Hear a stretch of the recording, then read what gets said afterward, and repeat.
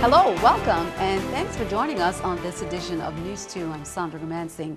Yesterday, the 30th Legislature of the Virgin Islands finally made a decision on whether or not to move forward with the amendment on the Hovensa concession agreement. After hours of intense debate, the votes finally came. News 2's April Knight has the details. August 7, 2013, the territory could feel the weight of a monumental choice about to be made. In this building, 14 senators made what could have been the most significant decision made by the legislature in a decade the rejection of the proposed Fourth Amendment to the Hovensa Concession Agreement. Earlier in the week, Governor John deJongh endorsed the amendment, but the decision lay on the shoulders of the senators, who went through four hours of heated debate. My vote is not only no, it's hell no. My conscience is telling me right now to go with the evidence. Three senators said yes to the amendment. We absolutely need to diversify our economy. That is an ideal situation. Somebody sent me a text saying we can suck salt, but we don't need this because we're proud people. But who represents the thousands who want this agreement to go forward? Who represents the thousands who need jobs? There were also fears that if the government refuses a deal, it could get tangled up in a long drawn legal battle with Hovensa. But the three agreeing voices were easily overwhelmed by an impassioned majority. They didn't give a damn about how they destroyed the United States Virgin Islands. Senators who voted no said there's no guarantee of economic gain and that the territory has already gone through the worst. Businesses that thrived and they were in St. Croix when the refinery was producing and was profitable. But they closed. Hovensa has essentially left us at ground zero. And as for the threat of an expensive lawsuit, when you declare bankruptcy, you should be broke. After a testimony by Legislative Counsel, naysayers also countered that Hovensa is legally in hot water because it breached the standing contract with its 2012 shutdown. Senators who voted against the amendment made clear that it doesn't mean they're also against Hovensa selling out. They insist that the amendment was never needed for Hovensa to execute a sale. But the minority slips in a word of caution. My question is, you guys got plan B? The question now is, how well will Hovensa take the blow? April Knight, News 2. The Senate session concluded with a resolution by the members of the legislature to encourage Hovensa to find a buyer for the St. Croix refinery. News 2 will keep you up to date. Now, Governor John P. deJongh Jr. expressed great disappointment in the vote of the legislature rejecting the Fourth Amendment agreement. In a press release statement, at the same time, deJongh also thanked the many members of the community who participated in the legislative process, who vocally supported the agreement. deJongh said he believed that the Fourth Amendment agreement was the best way to bridge the party's significant differences and was vastly superior to a lengthy and costly legal dispute that will delay the restart of the refinery and the economic recovery of St. Croix. Now that the legislature has spoken, it appears that the dispute be avoided. deJongh said he will now take action to enforce the terms of the existing concession agreement. Governor deJongh made some remarks before the Rotary Club of St. Thomas during a meeting held today. When I look at the vote that just took place, that is but one item of many things that we have to address long term going forward. One of the things that I'm most concerned about, and we found this out as we looked at our numbers, we looked at the economics, is that Hovensa and the oil refinery was more important with respect to our gross territorial product than even tourism. And if you consider the importance of tourism within our community, then you understand the context of why that refinery of 1,800 acres is so important to this community, not just to the island of St. Croix, but to the Virgin Islands overall. The Department of Human Services faced the Senate Finance Committee today, presenting a complex and increased budget request amounting to almost $65 million. In addition to budget cuts and the global recession, Human Services now faces a new wave of citizens who are newly eligible for Medicaid. As a result of the recent Medicaid expansion that was adopted instead of a health insurance exchange, according to Human Services Commissioner Christopher Finch, the budget is justified by the fact that human services is a lifeline for many low-income families. We added 3,000 children to the Medicaid program um, to extent that we're able to take these families and get them off of being completely uncompensated to where they know, at least know they have the health care for their children. They won't wait to use an emergency room because they can walk into Frederiksted Health Center or the Department of Health or East or St. Thomas East End Center with a card, knowing that they have the ability to um, pay for the, the care. I think that's an important step. I mean, clearly, we, we probably are the financial lifeline for most of those families through, through SNAP and to a lesser extent TANF. Meanwhile, after two years of devising and outlining a plan, the Virgin Islands will be the first U.S. territory to embark on a quality rating improvement system for early childhood learning. The VI Department of Human Services announced a joint effort, as we mentioned on Wednesday, with the Early Childhood Advisory Committee to officially implement the new system in August. The QRIS will help to increase the level of quality care for programs serving young children by providing financial and training resources. 26 child care centers locally were selected to participate in the official orientation on August 27th. After the meeting on the 27th, Human Services will follow up with a staff professional development plan for providers who participated in the pilot to determine fiscal support for program directors who need to complete their Child Development Associate's degree. Also, the Department of Human Services Queen Louise Home for the Aged will host its third annual public health fair on Friday, August 9th, and that will happen from 8 a.m. to 2 p.m. at the Lionel Roberts Stadium. The We Care Health Fair is a free event designed to offer free medical screenings and pertinent information about health and wellness for seniors in one location. Medical screenings will include cholesterol, blood sugar and blood pressure, HIV, and dental health. Representatives from the medical community will offer presentations on infection prevention and nutrition, and guest speakers from the VI Territorial Emergency Management Agency and VI Fire Service will also share information on fire prevention and disaster preparedness. 24-year-old Jamila Hodge pleaded guilty Wednesday in federal district court on St. Thomas to one count of production of child pornography. According to the plea agreement, Hodge used a cell phone to record a seven-minute video of an adult male engaging in sexual intercourse with a 15-year-old female. Hodge was arrested in April 2012 and charged in a five-count indictment with two counts of production of child pornography, two counts of possession of child pornography, and aiding and abetting second-degree aggravated rape. Co-defendant Caleb Webster, 30 years of age, was charged with one count of production of child pornography and second-degree aggravated rape.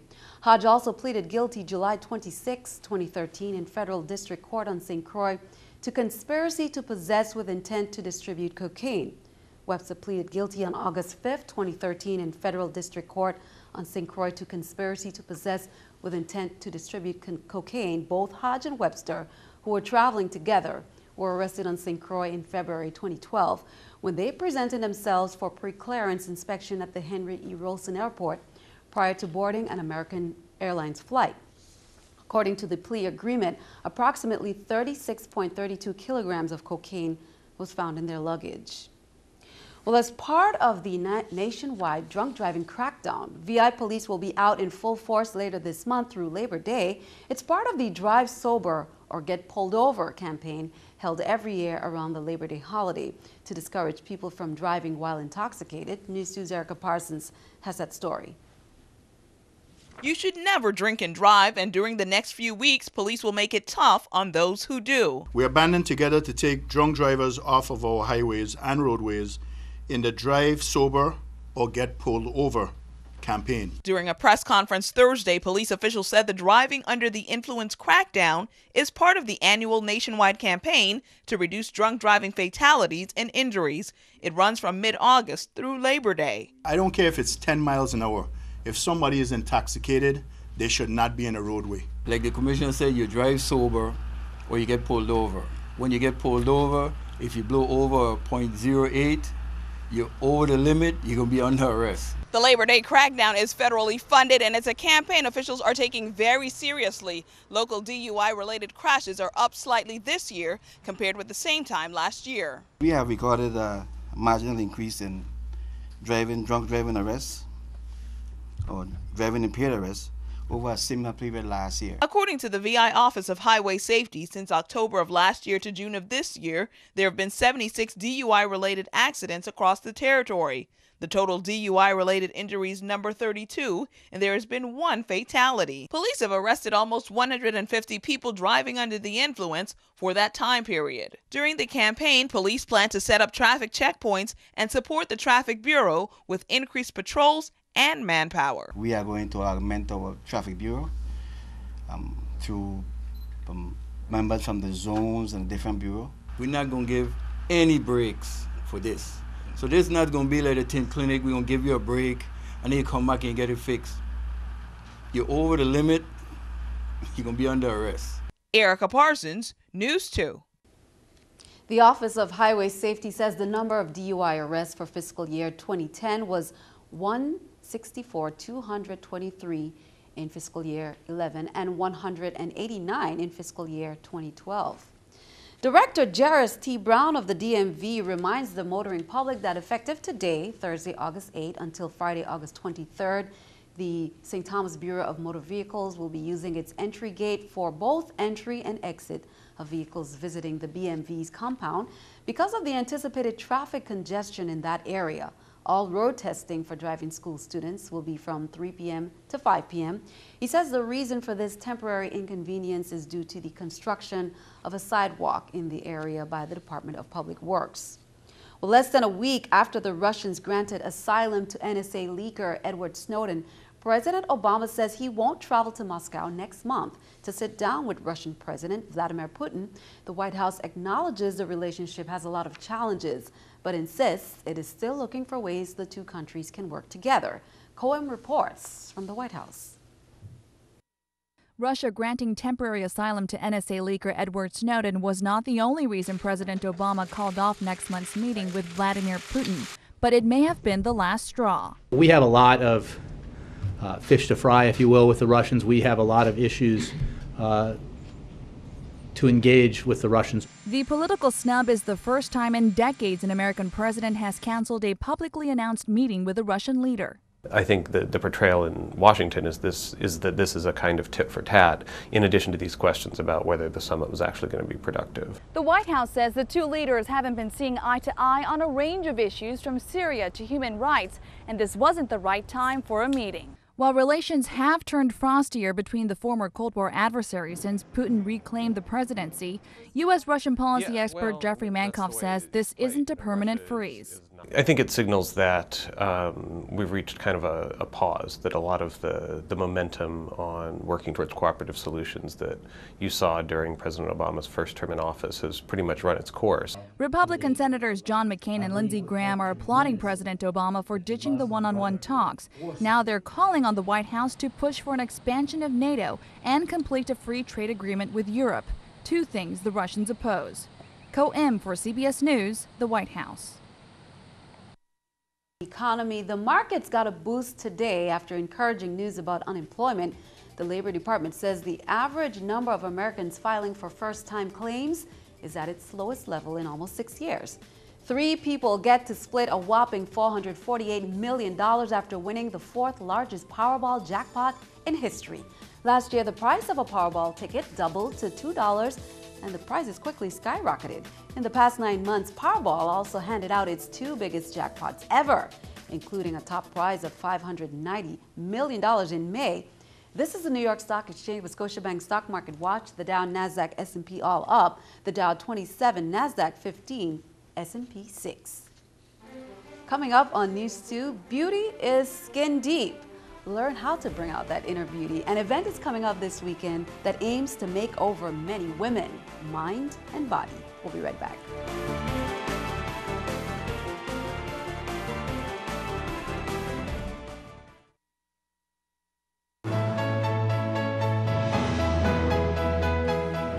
The VI National Guard is mourning the passing of former Adjutant General Brigadier General Carl E. Briscoe Sr., who passed away on Saturday, July 27, 2013, at the age of 89.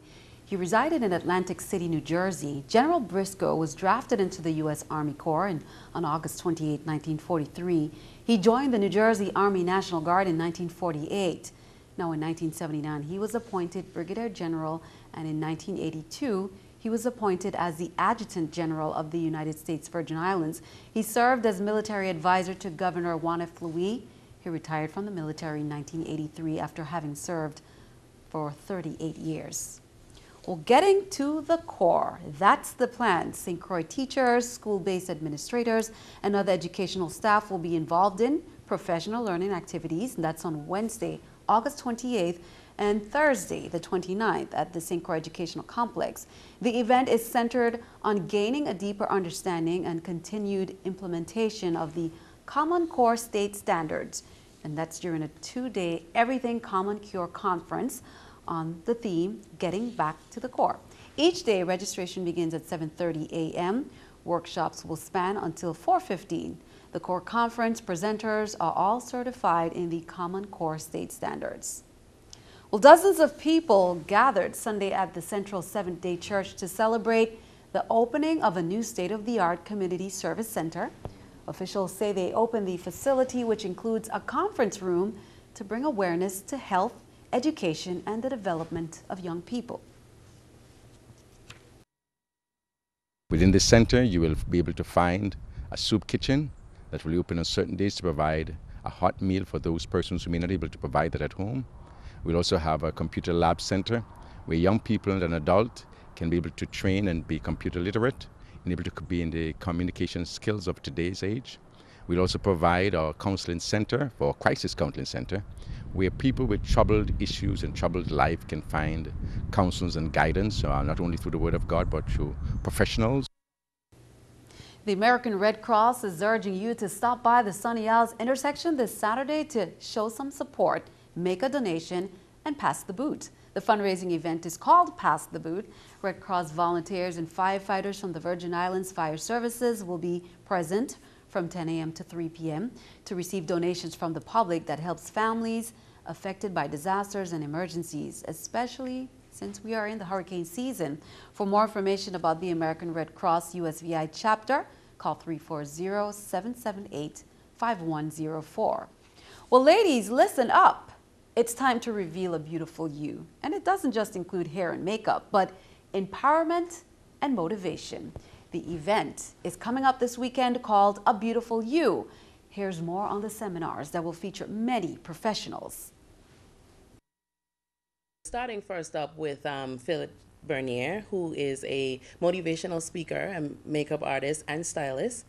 Um, he will start by giving the, the women, you know, a speech on empowerment and, you know, believing in self and whatnot. And then, you know, so that starts with getting things on the right track on the inside. Then we move on to the fundamentals of makeup.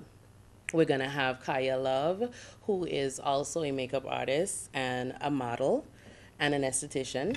The, the whole idea behind A Beautiful You is actually about empowering women. Uh, you know, making yourself renewed and refreshed, inspired, reinvented, if you will you know, these days women get so caught up in their everyday lives and being perfect mothers that they tend to forget about self. So this is designed to help you be beauty again, beautiful again. A beautiful event is in store. Stick